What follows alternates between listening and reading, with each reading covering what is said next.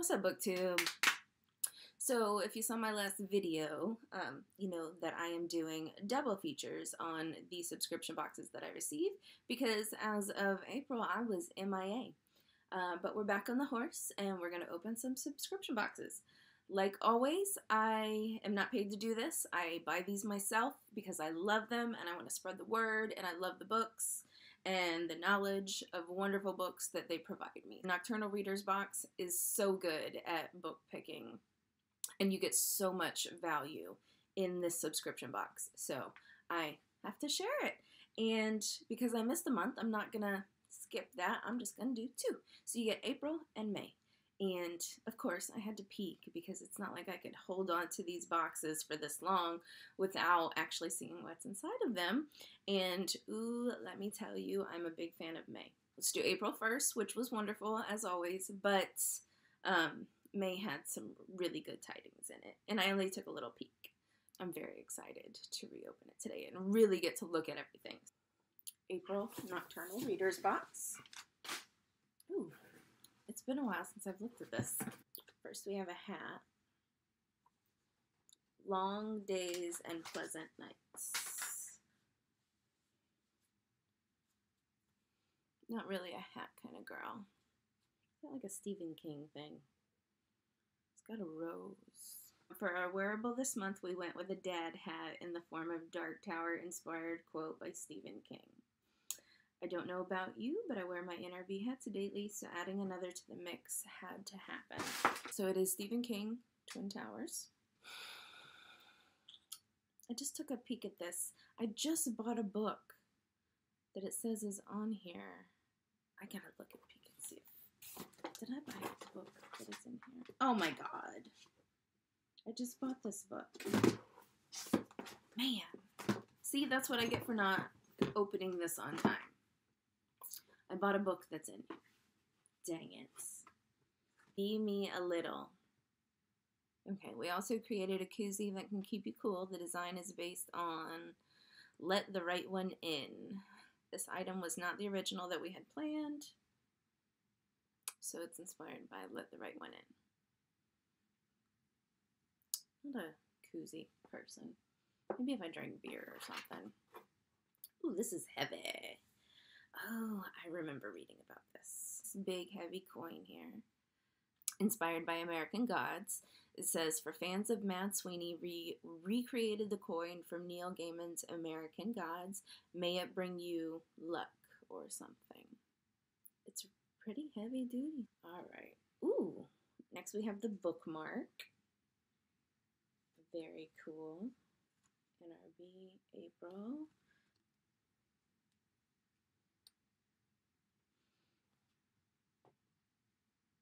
It's that um that weird playground thing. And it's she's holding it in the snow.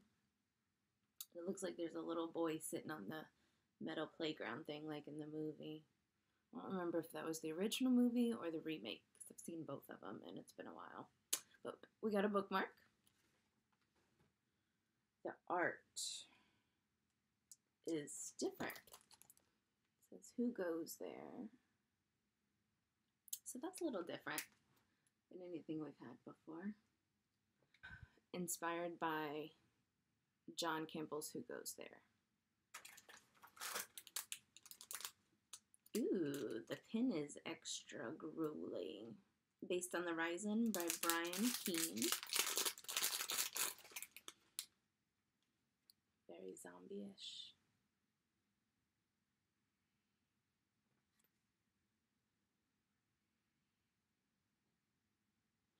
Never heard of this one either. We'll have to look it up. The books, the first one says Apex Magazine, fiction by Andrew. Oh, uh, four different people. So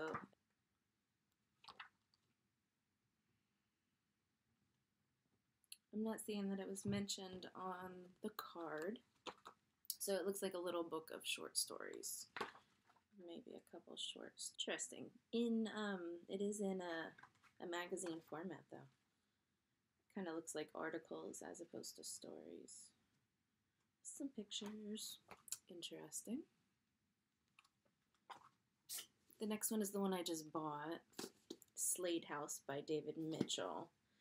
The back says, I've stopped because the far end of the garden, the wall with the small black door, is gone all faint and dim. Not because of evening, it can't even be four o'clock yet. Not because it's misty either. I look up, the sky's still bluish, like it was before. It's the garden itself, the garden's fading away. Interesting. says, turn down Slade Alley, narrow, dank, and easy to miss, even when you're looking for it. Find the small black iron door set into the right hand wall no handle, no keyhole, but at your touch it swings open. Either the sunlit garden of an old house that doesn't quite make sense, too grand for the shabby neighborhood, too large for the space it occupies. A stranger greets you by name and invites you inside. At first, you don't want to leave. Later, you find that you can't. This unnerving, taut, and intricately woven tale by one of our most original and bewitching writers began in 1979 and reaches its turbulent conclusions around Halloween 2015 because every nine years, on the last Saturday of October, a guest is summoned to Slade House.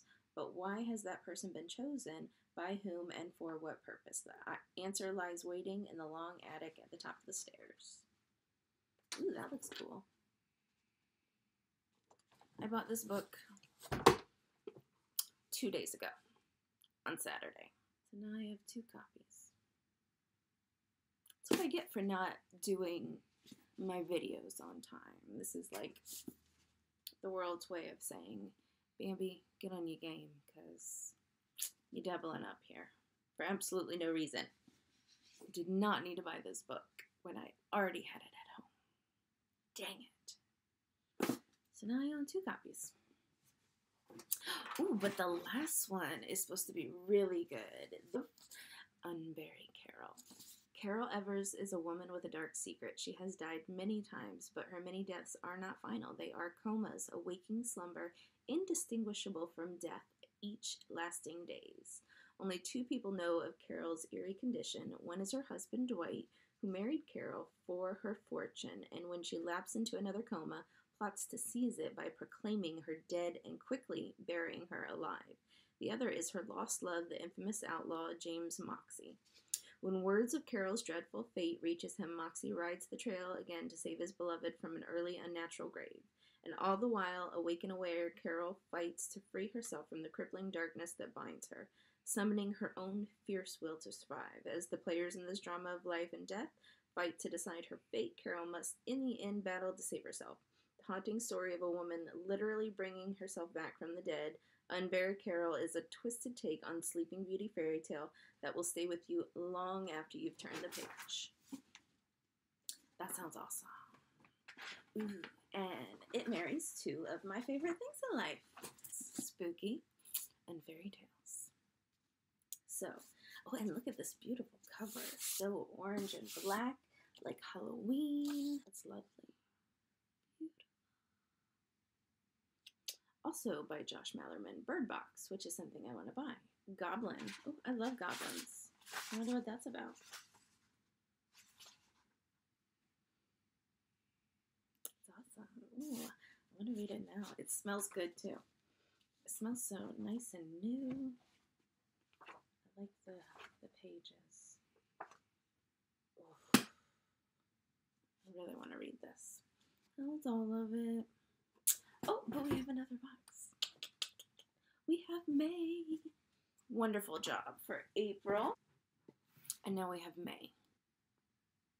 I did take a peek. That's how I know it's so good. Ooh. Bookmark first. May 2018. Who made this bloody fucking mess? Wasn't me. Cute cute, I said. There's too much good stuff in here. So, I'm taking my time. Welcome to the drive in. You get a nice little cup. These are like the Mardi Gras cups that we, we use. Enter at your own risk. So, I am not familiar with this book. Joe Lansdale Stadium Cup is based on the drive in. Trust me, if you haven't read this book yet, you and you love a weird, gory horror, which I do, then it is the book you are looking for. Next, we have the pin. It says nothing, but it looks like Christine. Looks like it'd be from Christine. Never heard of a book called Nothing before. But I do like the pin. That's pretty badass.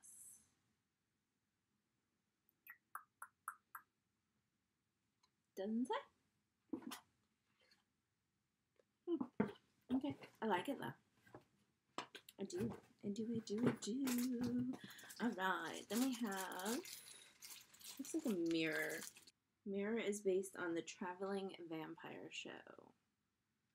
It says, Welcome to the Traveling Vampire Show.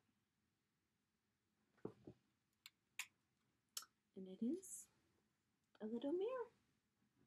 Put it in my purse. And we have a a t-shirt. And it's black. Thank you, thank you, thank you for sending black t-shirts. This is awesome. Look at that.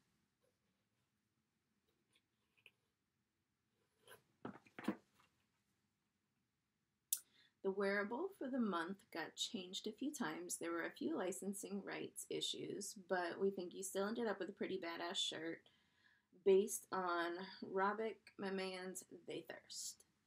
Again, not familiar, so I'm gonna have to check it out. But it's black and it's got a vampire on it, so oh my god, totally gonna wear that all the time. That's an easy one. All right, so now we're down to our books as well as these postcards, which I freaking love. Oh my gosh, because they have um, quotes on the front. We got three of them. They have quotes on the front from Lestat de Lioncourt. This one says, In fiction, if nowhere else, I must have a little meaning, a little coherence, or I will go mad. And then we got two more. Those are awesome. I love that. Too cool. Evil is a point of view. God kills, and so shall we, indiscriminately. I feel like I remember him saying that. So, of course, I'm a huge Anne Rice fan. So I love these. That's awesome. Killer.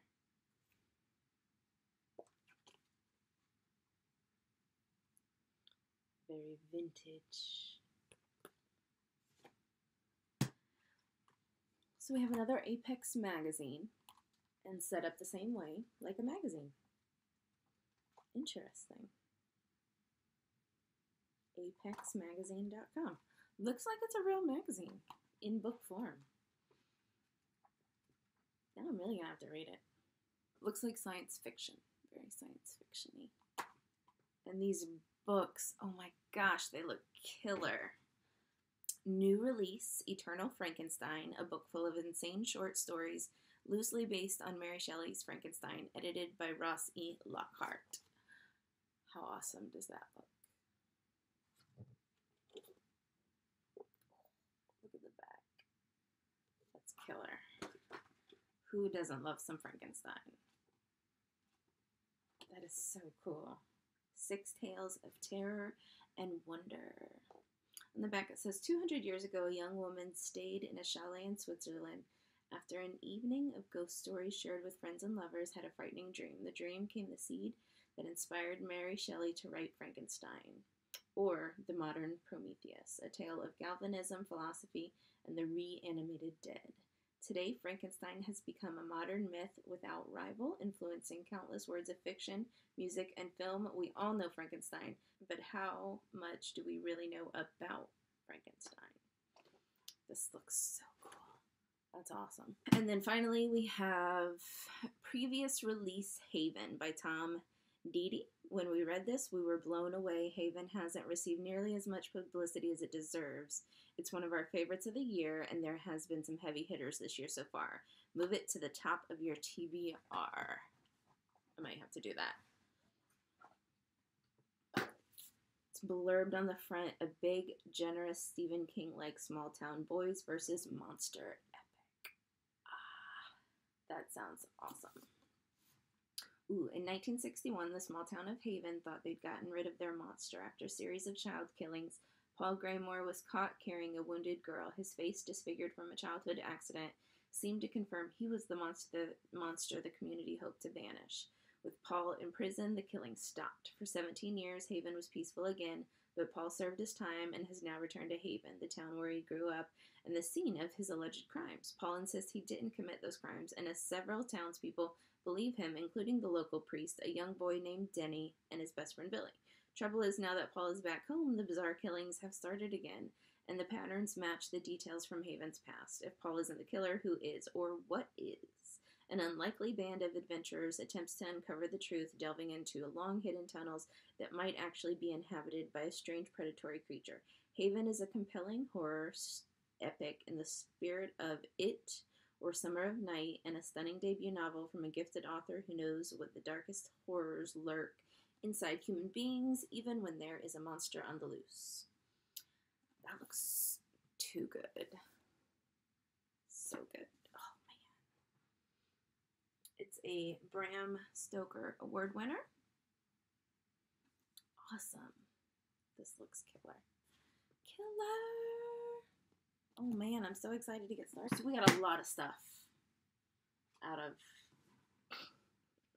out of this box too. We got the two books, the magazine, a cup, our postcards, our bookmark, the pin, the mirror, and a freaking t-shirt. I don't know how you guys are still in business. I feel like everything you send is way more than what I pay you for. So, killer job. You guys are the bomb. Can't wait to read these. Love you, Nocturnal Readers Box. April and May. Can't wait to see what happens in June. Thank you so much for sticking around. And man, if you haven't got you one of these yet, you need to. Where else can you get awesome stuff like this? Right? Delivered to your door.